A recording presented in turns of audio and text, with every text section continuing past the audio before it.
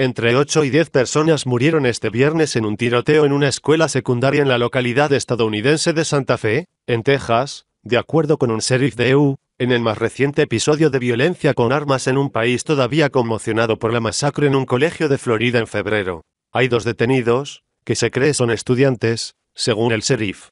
Tras citar fuentes anónimas, CNN dijo que había varias víctimas fatales tras el tiroteo en una escuela ubicada a casi 50 kilómetros al sudeste de Houston.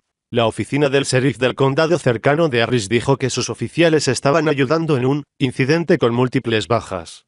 El presidente estadounidense, Donald Trump, escribió en un tuit al respecto, los primeros reportes no parecen buenos. Dios bendiga a todos.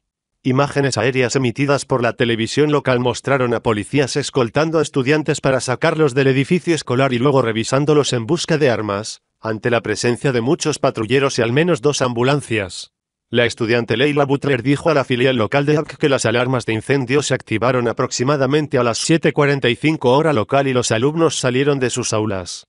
Otra estudiante, identificada como Nikki, dijo a APC 13 que, Alguien entró con una escopeta y una niña recibió un disparo en la pierna.